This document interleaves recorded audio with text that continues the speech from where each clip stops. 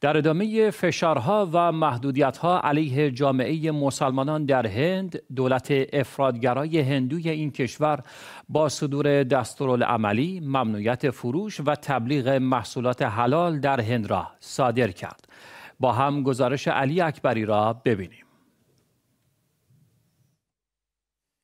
گروهی از علمای مسلمان از جمله روحانیون شیعه در ایالت اوتار پرادش هند تصمیم دولت برای ممنوعیت فروش محصولات حلال در این ایالت را محکوم کردند.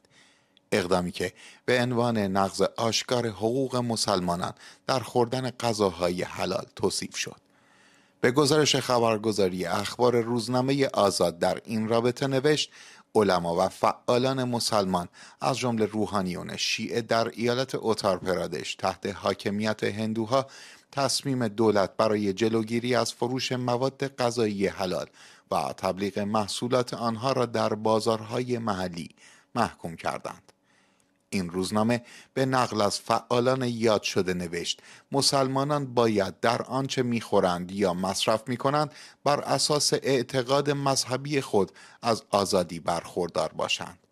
هیئت حقوق شخصی مسلمانان سراسر هند AIMPLB نیز ضمن اعلام موضع در این رابطه گفت هیچ چیز غیر قانونی در صدور گواهی حلال وجود ندارد.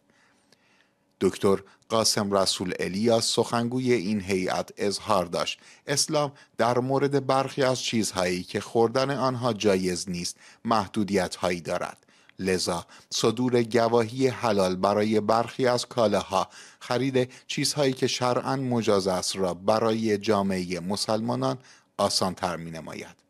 در همین حال جمعیت علمای هند در پی ممنوعیت فروش و تبلیغ محصولات حلال توسط دولت بیانیه ای صادر کرد و با اشاره به اینکه این جمعیت دارای مجوز قانونی برای صدور گواهی حلال و معتبر از وزارت بازرگانی است تاکید کرد که تاکنون گواهی های حلال خود را به صورت شفاف و صادقانه صادر می نموده است.